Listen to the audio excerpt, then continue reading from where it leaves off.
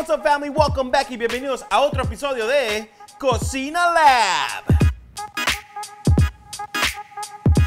El otro día estábamos debatiendo Toño y yo de cuáles son las papas más ricas de la comida rápida. Ah, no, Porque es que las la mejores papas son de No, no, McDonald's. no, In and Out, Sí. bro. In and Out. Claro que sí. Ni hay en ¿Y México. qué? ¿Tú le puedes poner hablando de papas, se tapó el baño. Así que decidimos echarnos un volado. A ver, va- va- Vas a ver, una, dos, tres.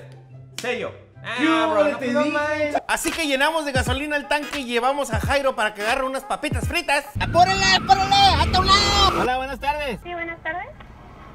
Fíjese que tengo el antojo así como unas papitas fritas, ¿cómo la ve? Unas papitas fritas le gustarían grandes para cumplir ese antojo. ¿Sabe qué? No tan grandes, pero tampoco tan chiquitas, porque... Pues en este caso tengo las papas medianas. Ah, perfecto, es que voy a ir a los tacos, hombre. Van a ser 23 en primera ventana. ¿Ocupa mi nombre? Mm, Me, me llamo Jairo.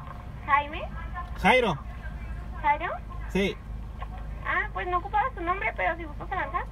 Muchas gracias, señorita. Muy amable. Estos son todos los ingredientes que vamos a utilizar para esta receta, así que anótalos y acá abajo en la descripción también te los dejo. Ok, lo que tenemos que hacer es agarrar unas papas. McDonald's usa papas Rosset. ¿Cómo sabes cuáles son las Rosset? Pues tienen como tierritas, están feitas por fuera. Vean nada más, tienen mucho almidón. No son las amarillas, ni las blancas, ni las moradas. Y pues primero la tenemos que pelar. ¡Eh! ¡Qué hubo, eh! No es cierto, no miren acá abajo. Que no miren, que no miren. Ahora, McDonald's corta las papitas con una máquina a agua con presión, así. ¡Woo! Así que nosotros vamos a usar esa misma máquina. Cuchillo. Ok, ve- vean nada más. Para que no se corten, tienes que agarrar la papa y cortarle un poquito así como la base, como por aquí. Para que al voltearla, así, no se mueva, ¿eh? No se mueva. La tenemos que cortar en delgaditas tiras u hojas. Con cuidado, tiritas. Les tiene que quedar así. Vean eso. Y ya por último tenemos que cortarlo en tiritas como si fueran papas fritas de McDonald's, pues. Vean eso, papas fritas de McDonald's.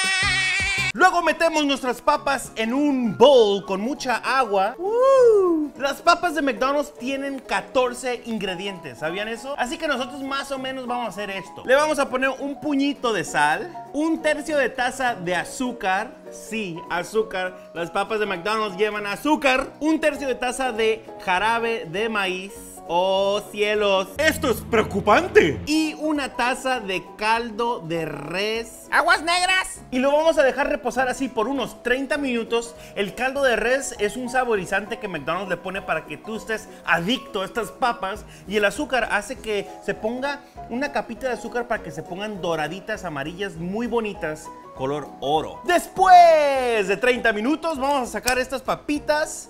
Vean nada más, saben a vaca. Papas sabor a vaca. Las vamos a sacar a que se sequen porque agua con aceite es muy peligroso. Luego con unas servilletas vamos a, a secarlas así. Así cuando te limpias cuando estás rosado. ¡Ay!